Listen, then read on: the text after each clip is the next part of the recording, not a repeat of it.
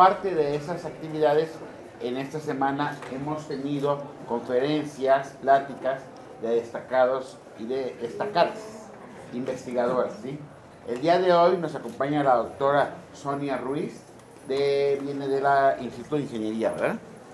Y eh, nos va a dar una ponencia, ¿por qué elegí ser investigador en ingeniería? Yo creo que esto es, eh, después de lo que hemos visto en esta semana, esto es algo importante porque tradicionalmente, yo creo que lo platicar la doctora, las ingenieras son pocas, ¿verdad? todos son ingenieros, ¿verdad? entonces este, va a platicar ella esta, su participación y entonces les pido que le pongan mucha atención, vienen con muchas ganas, mucho entusiasmo a conocerlos y recibamos con un fuerte aplauso. Bienvenida, doctora. Gracias. Bueno, chicos, a ver, ¿quiénes de ustedes van para ingeniería?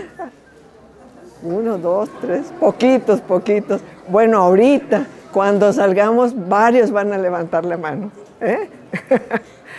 Vamos a empezar con la primera, por favor. Todavía no carga. Bueno, bueno, va, porque ustedes tienen clase, yo sé que tienen clase a las, a las 11, y, 11 y 10. Entonces, eh, yo les quería contar que, miren, para que ustedes decidan una carrera, eh, que a lo mejor ya la tienen, ¿de qué años son? ¿De qué semestre son? Cuarto, cuarto más o menos, quinto. O sea, ya están casi a punto de entrar a la universidad. Bueno, ya casi tienen decidido qué carrera van a estudiar, pero estarán de acuerdo conmigo que para que alguien estudie una carrera, eso influye desde que son bebés desde que son ustedes niños, hagan ustedes cada quien en su mente, acuérdese de cuando era niñito, de dos años, de un año, de cinco años. Y acuérdense si sus papás, por ejemplo, si su papá era a lo mejor eh, médico, por decir algo, a lo mejor querría que ustedes fueran médicas o médicos. Si fuera ingeniero, a lo mejor querría que fuera ingeniera, si es eh, albañil, querría que fuera albañil, si se dedica a los abarrotes, querría que ustedes adquieran eh, la tienda de abarrotes que él tiene. Si es profesor, se heredan las plazas, normalmente o se heredaban, y querría que fueran profesores. Entonces, desde que son ustedes niños, empiezan a, influenciar al niño, a la criatura de los 5 años, 7 años, 10 años, a qué carrera van a llevar. Pero no nada más los papás, también la familia, también las redes sociales, también eh, la televisión, los medios de comunicación. Todo eso eh, empieza, bueno, me van a dejar hablar yo creo sin proyección, todo eso empieza desde que son niños. Yo tuve la fortuna de que no me influenciaron. Yo soy de un pueblo del estado de Veracruz, un pueblo pequeño, un campo petrolero, se llama Cerro Azul. Y no me influenciaron, afortunadamente. Yo viví en un, en un espacio libre, corriendo, jugando a la bicicleta. Eh, lo que más me gustaba era, por cierto, andar en bicicleta y arreglar mi bicicleta era importante. Yo sabía parchar la bicicleta, pero no todas las niñas sabían, sabían los niños, porque era, eso era una actividad de hombres, no de mujeres. Ya ahorita está cambiando. Bueno, entonces yo desde, desde que fui niña, afortunadamente no, no me influenciaron mis padres, pero depende de qué, carrera o cómo les va a ir en la vida, de lo que traigan en dónde están situados, en qué país están situados. Son condiciones socioculturales, genéticas, la herencia que traigan de sus padres, abuelos, bisabuelos, tatarabuelos. Traemos de, multitud de razas. ¿eh? Alguien me decía que, eh, y se hizo un estudio genético y trae como de 24 razas, negros, asiáticos, ya uno trae mezclado todo. No somos, no, uno llega a conocer a lo mejor hasta el abuelito, el abuelito, el bisabuelito, la bisabuelita, pero más arriba, pues ¿de dónde venimos? Venimos de una, de una mezcla de, de, genes. De ahí vienen los algoritmos genéticos, por cierto. Bueno, entonces, este, eh, entonces toda esa multitud de cosas se va mezclando. No es lo mismo que ustedes hayan nacido en Cuba que en Canadá. Los sistemas ideológicos son diferentes. No es lo mismo que estén, estemos ustedes aquí en México que en, en una guerra en el mundo. Les habría ido diferente. Les habría, si estuvieran en medio de la guerra de Irak, o sea, serían diferentes las condiciones, el momento en el que se vive. Pasa uno de la niñez a la adolescencia, que es lo que más o menos están ustedes pasando, y que influyen, influyen las lecturas, las redes sociales, las, eh, eh, eh, pues lo que les dicen los amigos, con quién se juntan ustedes, el novio que tengan o la novia, influye el novio, que les diga, no, ¿cómo vas a estudiar eso? ¿Cómo vas a estudiar una carrera eh, eh, de ingeniería si, si, si no? Ah, bueno, aquí, aquí, eh, eso es lo que pienso. Vamos en la adolescencia. En la siguiente, del lado derecho van ustedes a ver, bueno, me voy a subir, del lado derecho, aquí voy a poner en verde más o menos mi historia como personal y acá lo que el rol de los padres, esto ya lo estamos viendo. La siguiente, por favor. Este, ¿Para qué las nos educan a las mujeres? Hacer la belleza, uy, las uñas, las cejas, el pelo. ¿eh?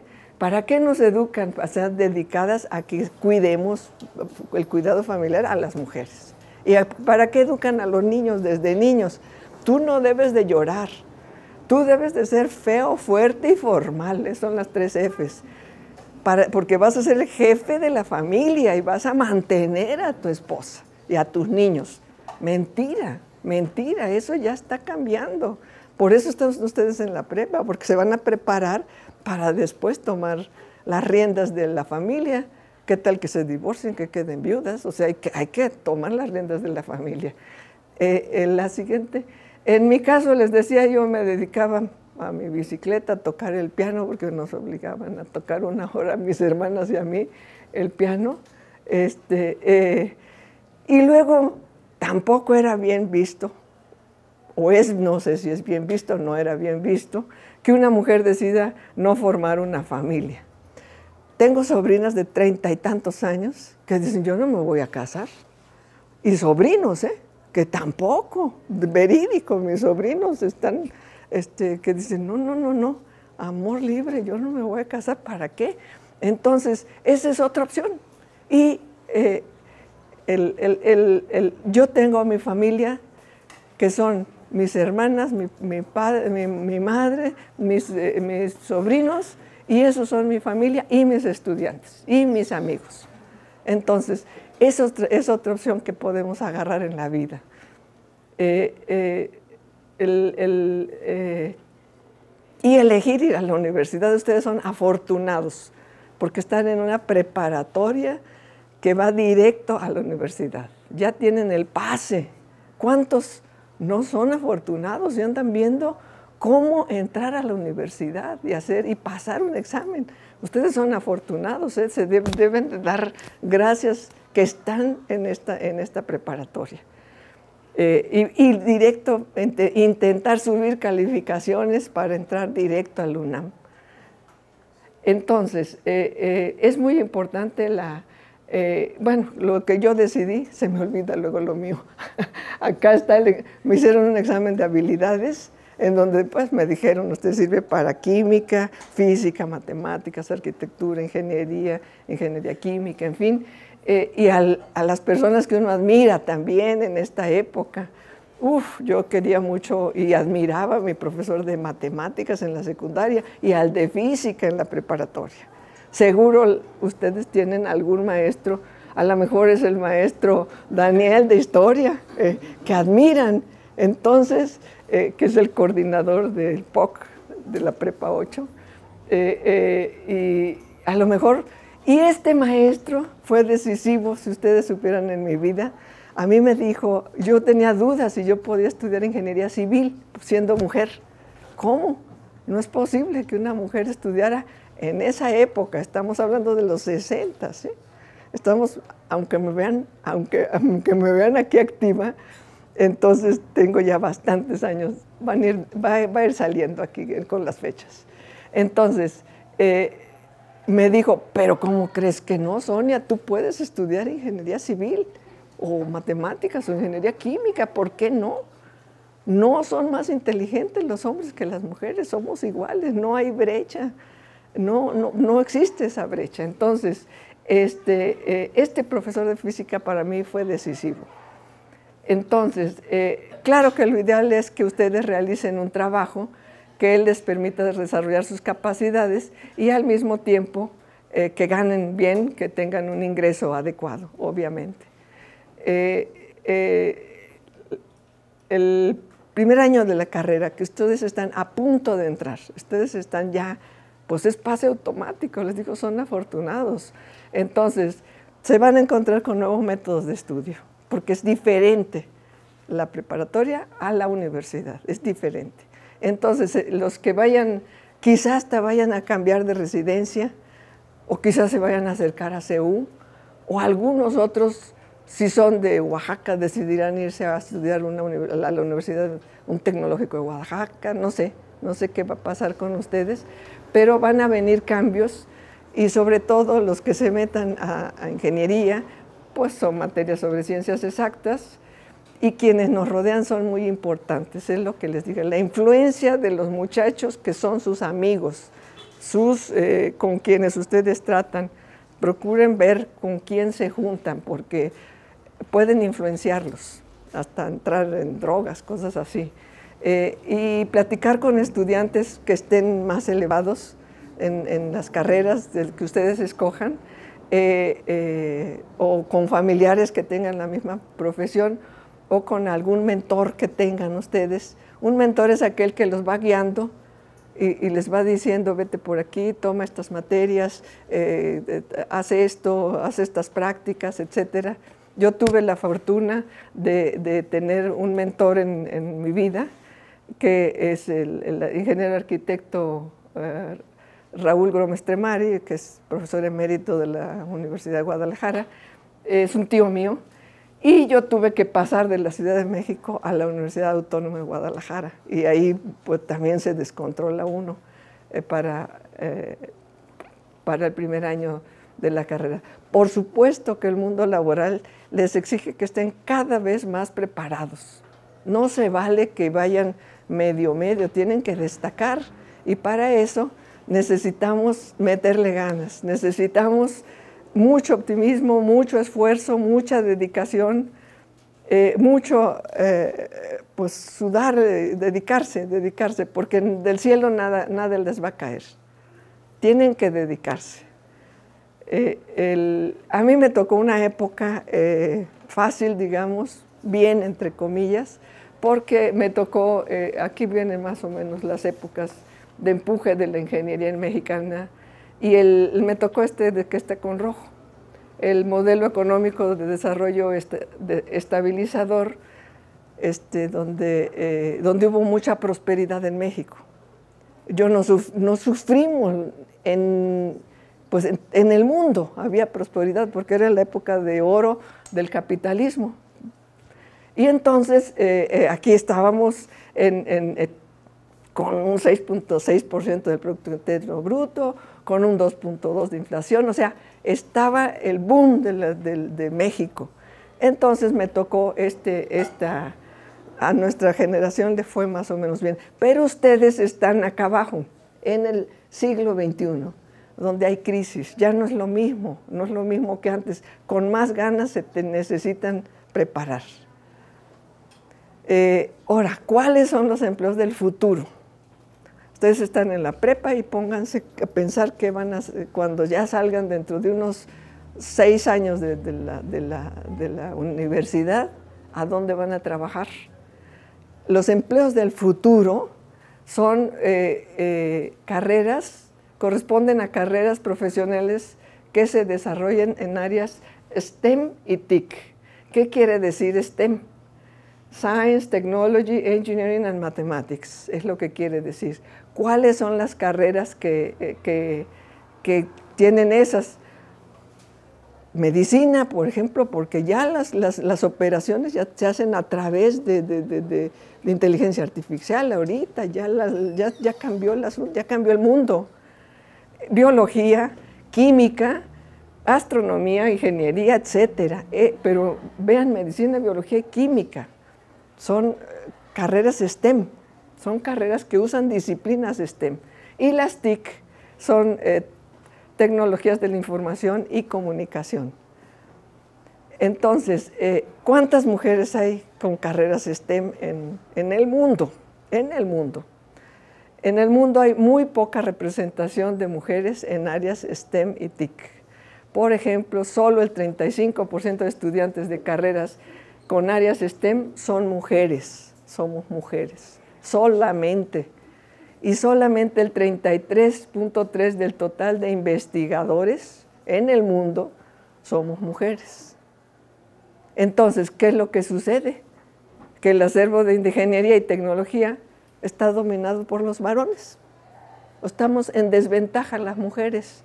¿Para qué nos quejamos si no le estudiamos? No, no le entramos. Entonces, y no le entramos por lo que ya veníamos diciendo, ¿eh? porque venimos ya con, arrastrando cosas de, antes, no, no, no, no es porque no querramos entrarle. Entonces, eh, a mí me tocó estar en el Sistema Nacional de Investigadores e Investigadoras, se fundó en el 84, bueno, desde entonces soy miembro del Sistema Nacional de Investigadores e Investigadoras, este, eh, soy nivel 2. El porcentaje de mujeres investigadoras en el G20, o sea, no crean que es nada más en México. Aquí en el G20, este es un estudio que se hizo, pero nótense que es del 2018. Eh, eh, me sorprende una cosa.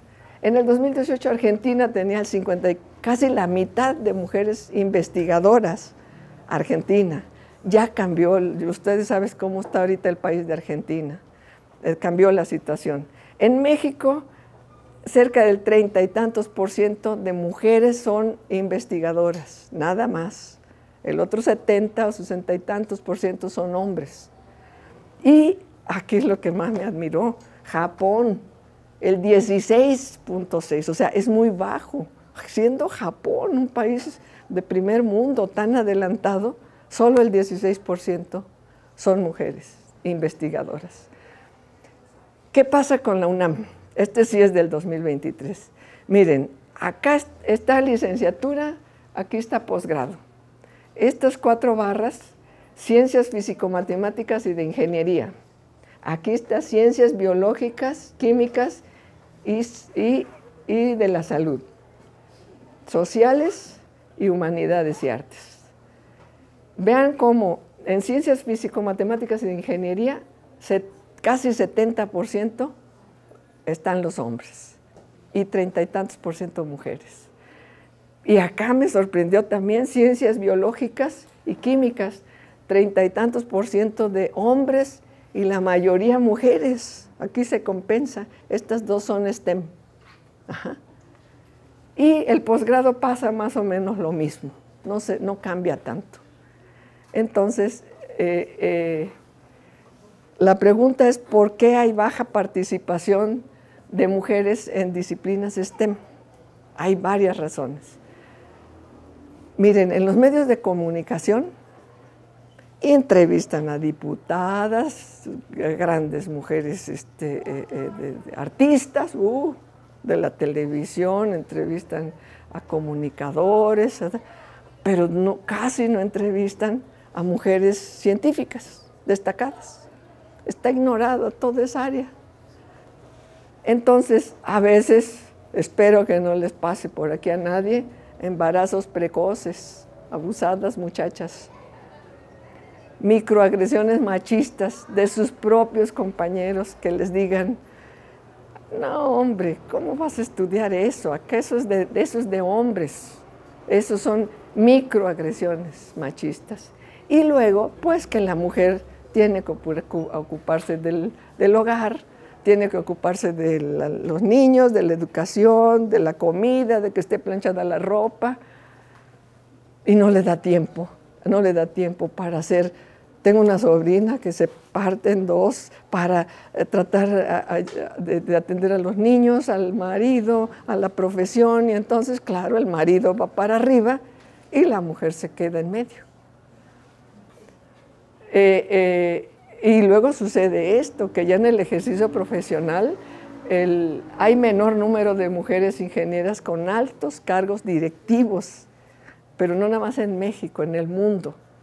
A mí me da mucho gusto que, por ejemplo, la mera la directora, la gerente general de, la ICA ahorita es una mujer y está dirigiendo maravillosamente la ICA, ¿eh? Ingenieros Civiles Asociados. Entonces, muchas veces eh, por maternidad se suspenden las, las actividades por acoso sexual, que hay bastante, según entiendo y hay un techo de cristal que de arriba de cierto nivel ya no suben, ya no suben, no suben, pero no suben porque el sistema no deja, no deja que suban, ¿no? Eh, eh, ahora, las mujeres latinoamericanas ganan entre el 5 y el 30% menos que los hombres haciendo el mismo trabajo. Eso es, digamos, Latinoamérica en general, no nada más México, tiene ese problema. Eh, a mí, afortunadamente, no es mi caso ninguno de estos porque eh, me he movido en un medio académico y aquí en la UNAM. Entonces, en el medio académico donde yo me he movido en el Instituto de Ingeniería, no, he tenido ese problema. Yo salí después de la maestría a trabajar en una empresa particular. Me pagaban muy bien, pero yo no hacía lo que yo quería y decidí que me regresaba a la investigación a hacer un doctorado. Eh, ahora, ¿qué pasa también? Que muchas mujeres que son jefas adquieren eh, algunas veces, asumen riesgos y gestos medio masculinos, ¿sí? comportamientos masculinos, y se visten de tal manera de mimetizarse con los hombres, que parezcan hombres digamos, sucede. Déjenme confesar que cuando yo estuve en licenciatura, eh, yo era la, única mujer en la carrera, desde primero hasta quinto, de todas las ingenierías, civil, mecánica y eléctrica.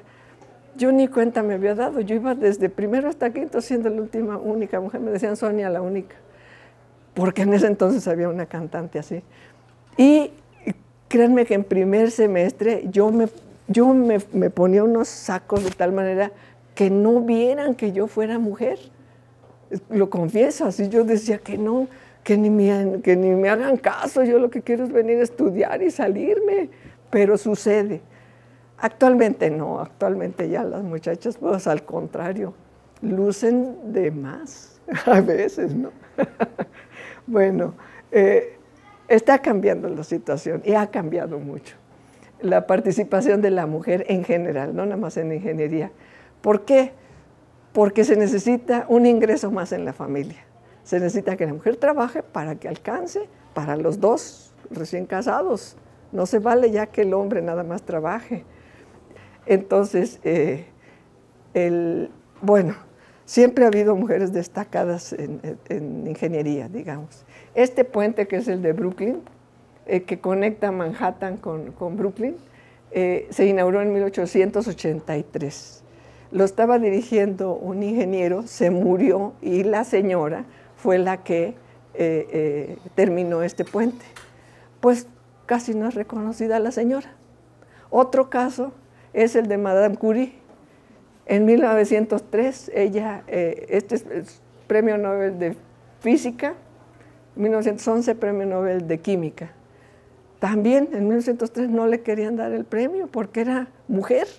Entonces, esa, esa invisibilización de mujeres, de las aportaciones de las mujeres científicas, se conoce como el, el, eh, efecto Matilda, eh, que me hizo favor de enviarme la coordinadora, la doctora Judith Judith Ramos del Instituto de Ingeniería, un, una, una descripción sobre Matilda Jocelyn, sobre el efecto Matilda. Ahora, las primeras ingenieras en Latinoamérica. Las primeras ingenieras en Latinoamérica venimos atrasados con respecto a Europa. Ahí está uno de los problemas de Latinoamérica. La primera que fue de Argentina es de 1918. Luego, en la UNAM, en 1930, egresa la primera ingeniera, en 1930. Vean la diferencia de años. Y en 1950, la primera geóloga. Aquí me puse yo nada más para, para que me ubiquen dónde andaba. En la primera ingeniera egresada de la Universidad Autónoma de Guadalajara, como les conté, fui yo en el 73 y además fui la primera eh, mujer doctorada en la UNAM en estructuras. Eh, todo viene, les digo, no es de ahorita que nos sintamos este, qué está pasando con las mujeres. Desde el proceso de institucionalización que empieza a partir de la revolución industrial a, finales del siglo XVIII, eh, las mujeres pues se mandaron a, las, ser costureras, hilanderas, etcétera, en las fábricas. Los hombres a la fuerza física, a la racionalidad y a la ciencia. en, eh, digamos, la actividad económica se aumenta en el mundo eh, cuando hay descubrimientos. Cada que hay un descubrimiento que se relaciona con áreas STEM, por ejemplo, acá está 1780, máquina de vapor, ferrocarril, vean las subidas. Aquí entra el teléfono, el automóvil, la electricidad, es cuando empieza la actividad económica en el mundo. ¿eh? Aquí sube. Vean ustedes acá. Acá computadores, el inicio de las computadoras aquí en el 80. Internet 2000. Ustedes vienen estando, yo creo que ustedes nacieron como en el 2007, por ahí. ¿Qué, qué año nacieron? Por ahí. Bueno, ustedes andan por aquí. Por aquí, fíjense. Ya les toca esta parte del Internet. Pero vean lo que viene, vean lo que viene. Acá viene 2000, en el 2000, aquí está 2023. ¿Cuáles son las áreas que están ahorita moviendo al mundo? Inteligencia artificial, almacenamiento de la energía, robótica, secuenciación del genoma, genoma humano, tecnología blockchain.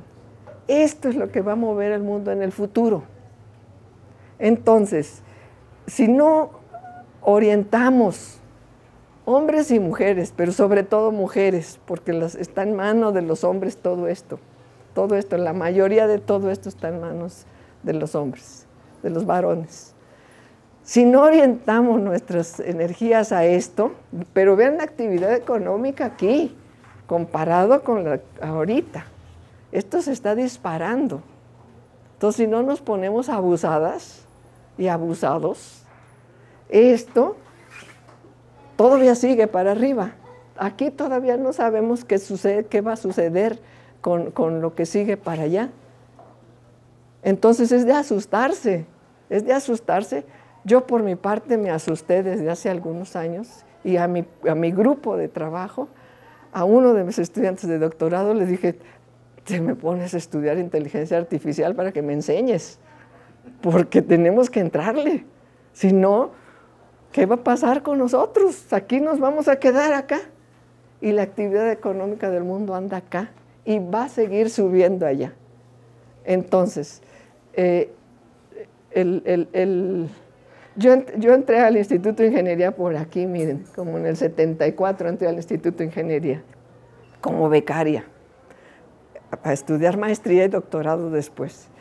Y después eh, me dediqué a estudiar confiabilidad estructural, ingeniería sísmica, que son mis áreas, y este, mis maestros, digamos, los, mis ejemplos a seguir eran el doctor Emilio Rosenblut, el doctor Luis Esteva.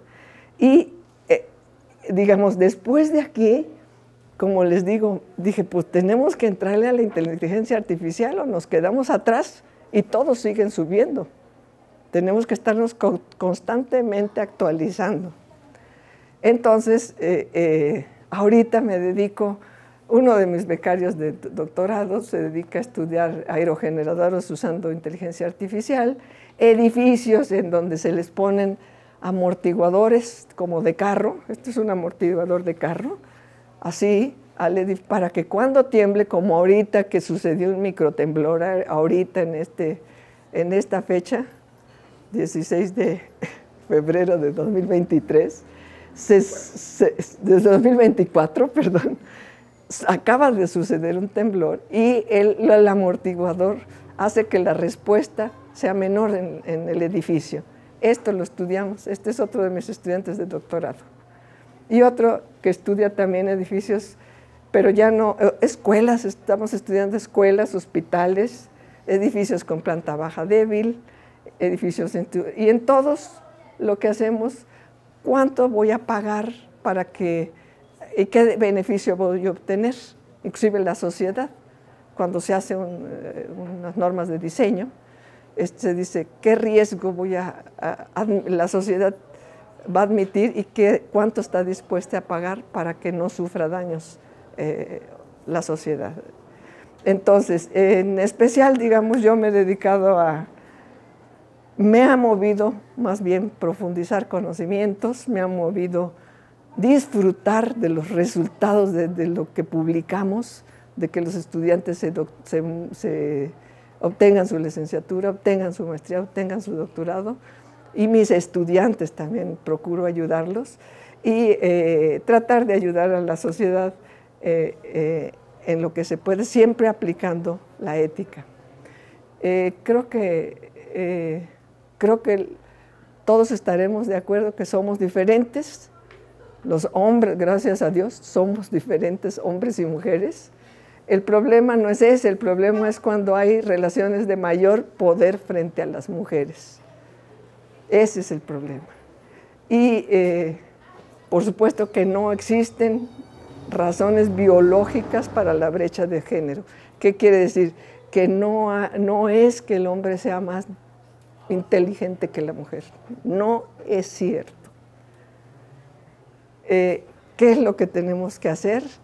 Vamos a propiciar un cambio cultural que ya se está dando vamos a derribar estereotipos, vamos a, eh, de generación en generación le van uno diciendo, eh, la mujer es más débil, la mujer es color de rosa, el hombre es color azul.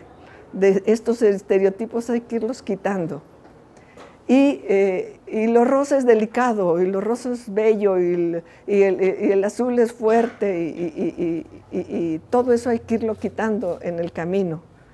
Eh, y hay que orientar a las generaciones, o sea, a mujeres, niños y estudiantes, hombres también, varones, para que, eh, para que se vayan cambiando de mentalidad.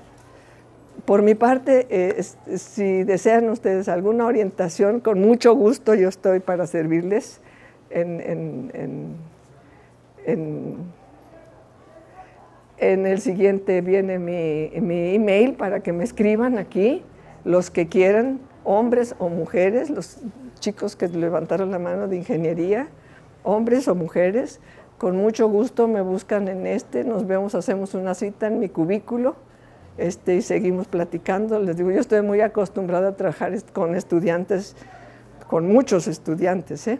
Este, ahorita normalmente tengo 10 estudiantes a mi cargo haciendo tesis. Entonces, este, entre seis, siete estudiantes, algunos son de doctorado, otros de maestría, otros de licenciatura, algunos servicio social. Entonces, ahí le pueden tomar la foto para que no la... Entonces, me, escriben y con mucho gusto estoy a sus órdenes. Este, y, les di cinco minutos para los que tienen clase, porque sé que ahorita a las once y diez tienen su siguiente clase los muchachos y tienen que ir a, tienen que ir a sus clases. Tenemos cinco minutos por si alguien quiere hacerme alguna pregunta.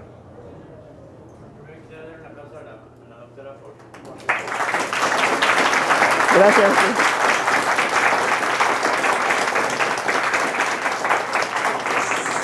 Si no, quieren, si no, tienen, si no tienen preguntas, la siguiente les voy, yo les voy a hacer unas pre tres preguntas, pero necesito que alguien me ayude a contar. Ah, bueno, a ver. Quiero que me digan esto. Suele haber más hombres estudiando ingeniería porque ellos suelen ser más inteligentes que las mujeres. ¿Es ver falso? ¿Es falso? ¿Quién dice que es falso? Bueno, a ver, por favor, cuéntale.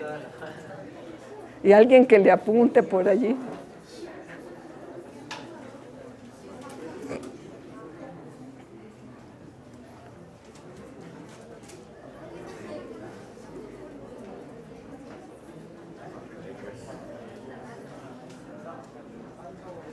Levántela alto, alto, si no, no se ve.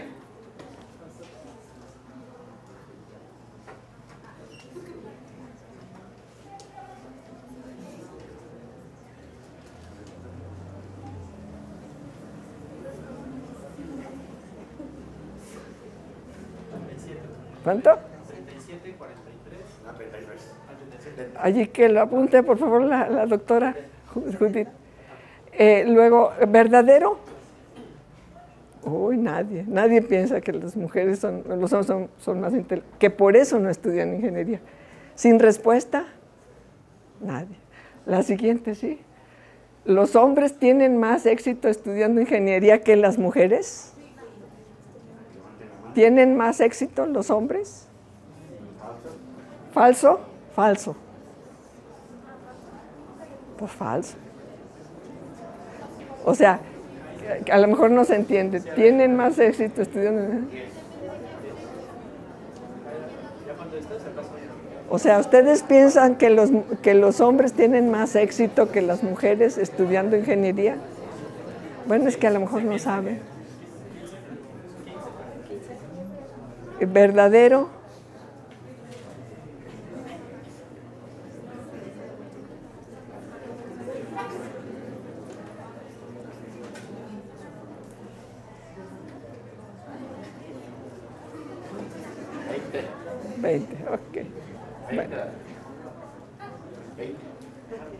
Ahora, pues nada más con esas dos, con esas dos, porque la tercera ya me la contestaron, este, la tercera por allí.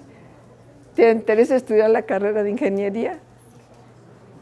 Después de esta charla también que nos hace. bueno, una cosa es que les interese y otra cosa es que lo vayan a hacer. Ah, claro, sí. ¿Y quién le interesaría estudiar la carrera de alguna ingeniería? Oh, pues les digo que ya salieron muchos. Es que el que, no se ponga de abusado. Bueno, las personas que les interesa la carrera de ingeniería, con más ganas, apunten mi, apunten mi, mi email para que me escriban. Bueno, con estas preguntas y viendo cómo contestaron, en resumen, qué bueno que piensen que no es más inteligente el hombre que la mujer.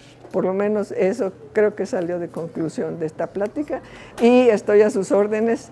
Aunque no estudien ingeniería, me pueden ir a buscar en el Instituto de Ingeniería. Nada más permítanos un momento, le vamos a entregar el reconocimiento a la doctora.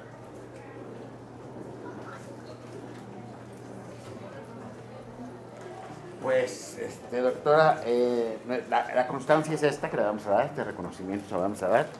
Y dice, Universidad Nacional Autónoma de México, Escuela Nacional Preparatoria Plantel 8 Miguel Schulz, otorga la presente constancia a la doctora Sonia Ruiz por su brillante participación con la ponencia ¿Por qué elegí ser investigador en ingeniería?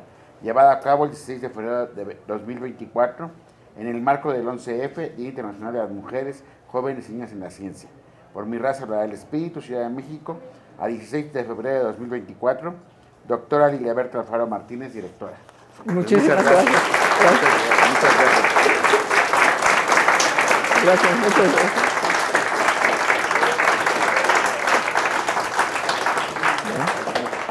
Muchas gracias. Daniel. Sí, la maestra Paulina que también. Maestra Paulina. Maestra Paulina. Porque además es importante mencionar, doctora, que esta conferencia fue organizada por los maestros de historia.